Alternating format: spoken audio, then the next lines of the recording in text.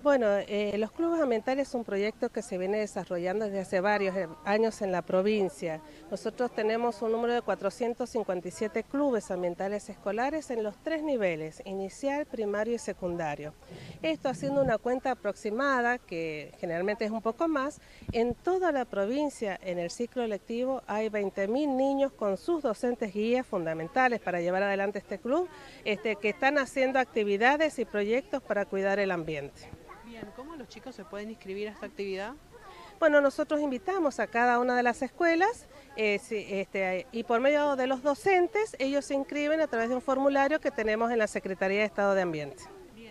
Chicos, en este caso ya quiero hablar con vos, Silvana, eh, los chicos se han inscrito con facilidad, eh, o sea, han, estado como bastante entusiasmados con hacer el proyecto. Sí, realmente es muy motivante para los chicos, aparte tenemos una zona muy desértica, así que los docentes se inscriben y son los, los guías de estos chicos para cuidar el ambiente.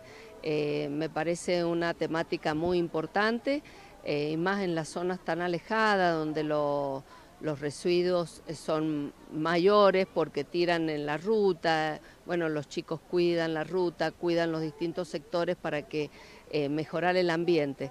Y otra de las partes que tenemos es la forestación, porque como es una zona desértica, también necesitan tener el proyecto de forestación.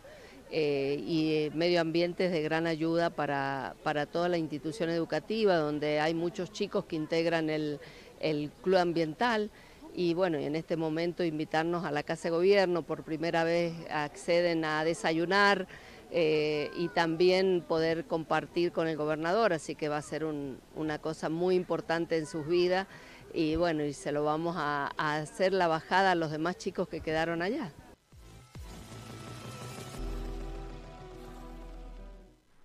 Muy bien, y ahora continuamos con las noticias.